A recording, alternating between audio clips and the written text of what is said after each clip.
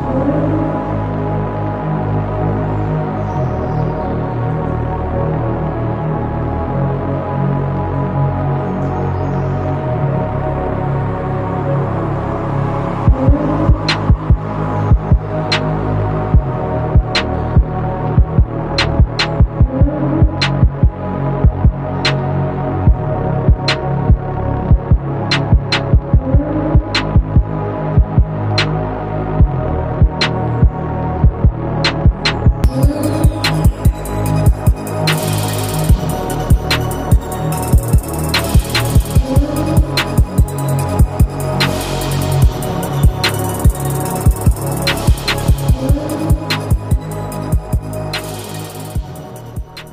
know I haven't made a video in a while, but it's because I've been working on a new app and it's finally done. TindAR. Browse thousands of local augmented reality developers in your area right in front of you. Swipe right to network with other developers and collaborate on projects. Just kidding. That's fake, obviously. But check out our Discord group to meet other AR developers. Link is down in the description below. Anyway, in my last video, I naively committed to doing a tutorial on placing objects at particular GPS locations. Unfortunately, it doesn't work great. Just know, I really did try because it was one of the most like, requested videos to do, um, but it's just really hard to make it reliable. Not to mention, I'm sick of walking around my neighborhood like a psychopath uh, trying to test this thing. To be honest, the objects only show up where they're supposed to about 50% of the time. Um, they do get more accurate the closer you walk to the objects, and it at least works better than that car finder app on the App Store. Either way, I think a better, more reliable method of doing GPS based AR is something more like Pokemon Go, where you walk around, you're a little blip on a map, and uh, when you walk close enough to an object, then the camera opens and it places the object right in front of you, rather than having to worry about placing objects off in the distance, because then you know accuracy and reliability becomes a problem. So maybe we can do a tutorial in the future on uh, on a more simple implementation like that. Now I did put the project from the intro up on GitHub, so I'll show you how to set it up and use it later. But I think for now, it'd be more valuable to you guys if we talk through some of the difficulties in doing something like this. Now I have used Mapbox before, and I know they have a conversions class uh, that has functions for converting GPS coordinates to Unity world coordinates. I thought I could simply pass in the GPS coordinates and they would appear where I wanted them to. Didn't work. Now the objects show up correctly relative to each other, but they were never exactly in the right place. Uh, so I did some research and I found that my Unity camera needed to be aligned with true north in order for the objects to show up uh, exactly where they're supposed to. So no problem, I thought. Phones have a compass, and I can just rotate the camera's parent transform to north, and I'll be set. Sounds good. Doesn't work. Okay, so this worked kinda, but it was not very reliable. A couple days later, I was talking to my friend Andrew, and he was like, dude, there's a setting in ARKit to align the camera with gravity and true north. Just use that. Oh, okay, awesome. I thought this was it. Again, the results were better, but not great. The problem is, when you're placing objects far away from the camera, if your phone's idea of true north is off even a few degrees, objects in the distance will appear very far away. Then I was talking to my friend Salty about the project, and he was like, Why aren't you using the Mapbox World Scale AR GitHub project? I was like, uh. So I looked into that, and in the description, they talk about how the compass on the phone is too unreliable and was giving them readings plus or minus 15 degrees, which we already know is a huge problem for this type of application. Now, their project uses AR position deltas and GPS position deltas to calculate an angle which is the offset from the AR camera to true north. So basically, take one GPS reading when the user starts the app and have them walk in a straight line and take another GPS reading. Then, with these two points, you can tell which direction that person was walking, assuming that their camera is pointed in that same direction. They found that this was more accurate than using the compass, and I'm going to trust them because they're the experts. The other issue they try to solve is the drift with ARKit. Tracking is okay inside a small room, but when you're walking outside uh, long distances, AR objects end up drifting far from where they're supposed to be. So if you're into this type of thing, definitely keep an eye on Mapbox. Uh, they just acquired Fitness AR, so they seem to be putting a lot more focus on augmented reality as of late. And they also did this amazing AR navigation demo at Unite Austin. They're also continuing to update this world scale AR project, so I would definitely keep an eye on that. Anyway, to get that demo I showed in the intro, I basically combined. Anyway, to get that app I showed in the intro, I ended up combining my own little GPS AR project with the Mapbox World Scale AR project Uh, so that's what I'm going to show you guys how to use. So the main issue with this app is that sometimes getting a proper alignment is unreliable. Now when I say alignment, I mean that since Mapbox uses position deltas to calculate heading direction, when you first open the app, you have to make sure a ground plane is detected and then walk in a straight line for a while until it calculates a proper alignment. Only then does the UI show up and the objects are placed. So in this sense, UX design is another hurdle. Uh, but in the enhancements of the project on GitHub, they do give an example of placing cubes down in front of a user to walk through in order to ensure a good alignment. So now that you know the limitations of this project, let me show you exactly how to use it. Uh, you will ultimately need to, account, to create a Mapbox account and a GameSparks account. Um, I used GameSparks just so that I could save GPS coordinates somewhere uh, because during testing you'll be restarting and rebuilding the app quite often. Also, this app should work with ARKit and ARCore, so you guys can't beat me up for only doing ARKit stuff. So first off, let's go to GitHub and download this project. Okay, so let's first go to github.com and let's download this repository. I believe it is called um, Mapbox GPS head. Yeah, oh, there we go. Max, Mapbox GPS heading, all one word. And search for that. Okay, Matthew Hallberg, there we go. All right, so first, uh, download this repository. Now, if it wasn't for me adding GameSparks to this, we would have no setup and it would work right out of the box. But I added that because honestly, it was going to take an equal amount of time to make like a legit local storage server. So rather than messing with that, I just use GameSparks. Okay, so unzip this and we're going to open it up in Unity. So open a new project, and I put it on my desktop, so let's just find it. Um, okay, Mapbox GPS heading master, open. Okay, so first go to project, and then in the assets folder, we're going to have automatic world synchronization. This is the scene we're going to be working with. So go to file build settings and switch your platform to Android or iOS, whatever you prefer. Okay, so once this finishes, close out of this, and uh, the first SDK that we're using in this project is the Mapbox SDK, obviously. So go to Google, and we need to get our Mapbox credentials. So go to mapbox.com and create an account if you don't already have one. Okay, so go to see your access tokens and uh, copy this to your clipboard. Go back to Unity and up here in the uh, toolbar at the top, Mapbox configure. Paste in your access token and, uh, okay, token valid. Very good. Save. Close out of that. Now the next thing we need to do is get our Map uh, GameSparks credentials. So go to GameSparks.com and create an account. Again, if you don't already have one, make an account. It's free.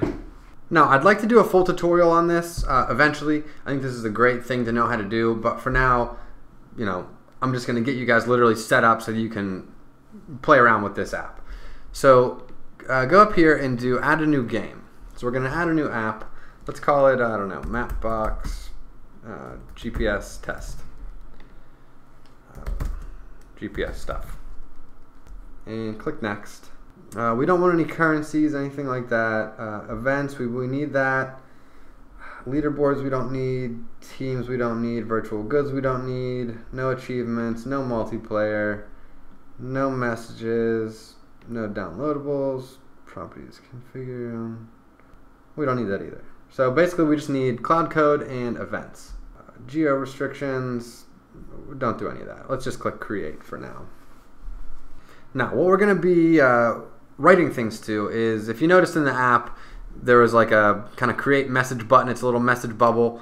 You click that button and then you type in a message and it writes the latitude, longitude, and the um, whatever text message up to your GameSparks database and saves it there.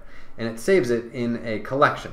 So if you go to uh, NoSQL collections, um, click the plus button. We want to add a runtime collection. It's got to be the same as in our app.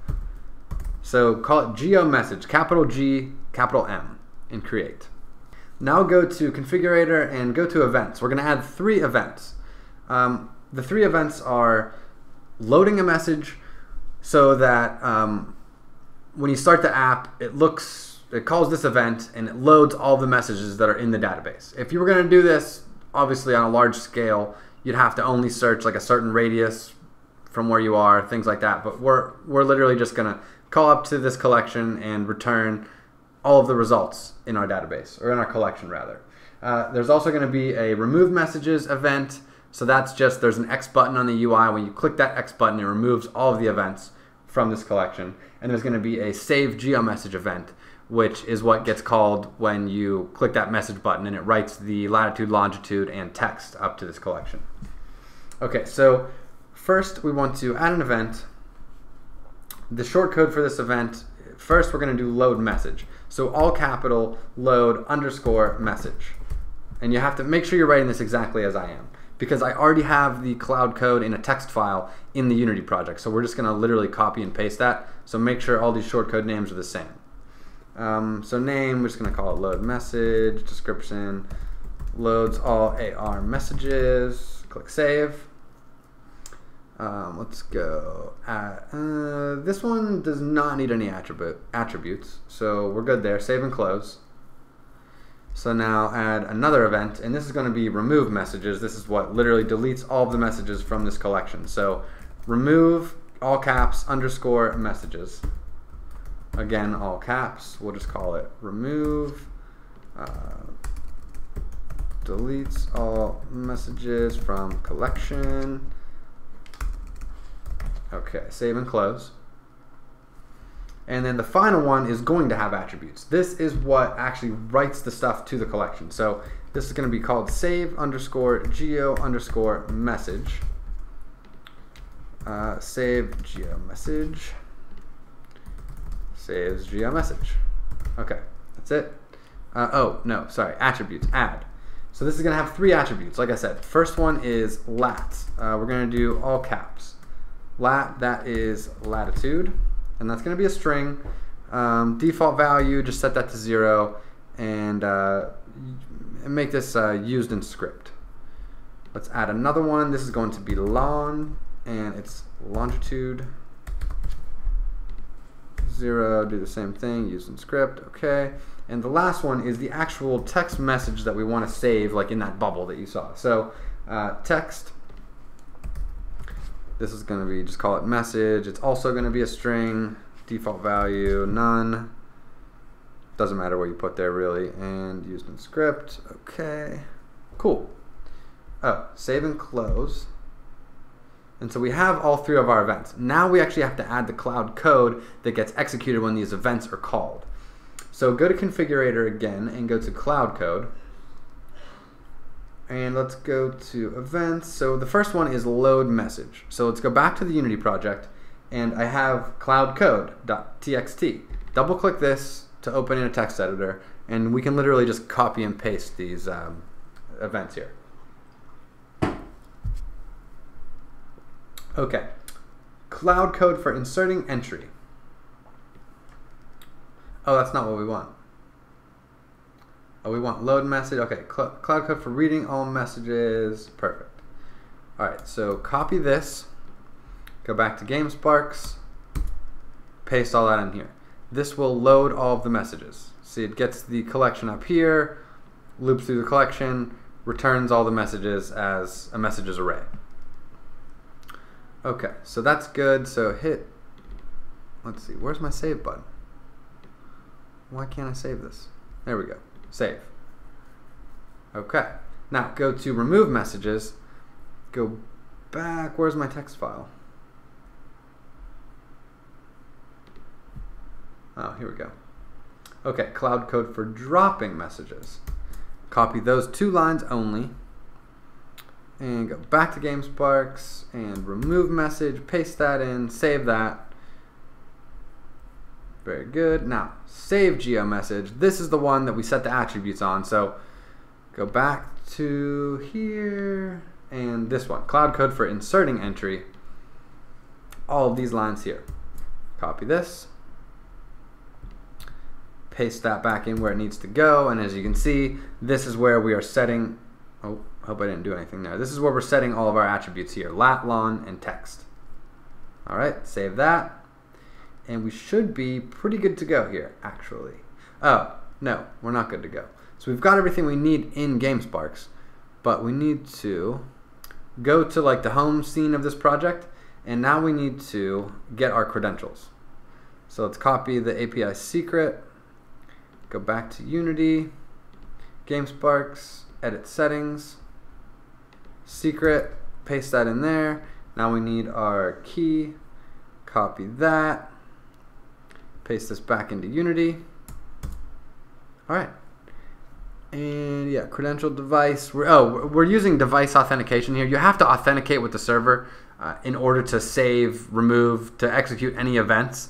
But what we're doing here is there's a device device authentication script somewhere here, right here. So this just uses the unique ID your, of your device to authenticate with the server. So rather than uh, communicating, or rather than creating an account, a password, that whole deal, this just uses the unique ID of your device and authorizes it. So it's the easiest way to do this. That way you don't have to worry about, you know, creating UI elements and verifying users, blah, blah, blah. So this is the best way. Now, if we were to click play here, we should be able to authenticate with our GameSpark server. Very good. So we got device authenticated. That means we actually did authenticate with our server. So now we should be good to build this out. Let's go to File, Build Settings, make sure that we have camera usage descriptions and uh, location, location usage descriptions in here so we don't get any errors in Xcode. So camera usage, location, location usage. There we go. All right, everything looks good. So we should be able to hit build and uh, get a test build up and running. Okay, so while this is building, I forgot to mention one thing. If you go to my GitHub, um, I do have the other project on there that uses the um, compass rather than this Mapbox project. So this is what, let me show you something. This is what I used before I uh, integrated my little project with the Mapbox AR project. There should be something on here called, uh, let's see. Okay, Mapbox GPS. This will actually work the same way, uses all of the same uh, like cloud code and everything from GameSpark. So if you want to download and try this repository, this is the one that uses uh, the compass to get the uh, the correct uh, camera direction to true north. So if you want to see how that works, it's not terrible. It's just the Mapbox project works a little bit better. So if you want to try that, uh, you can use that.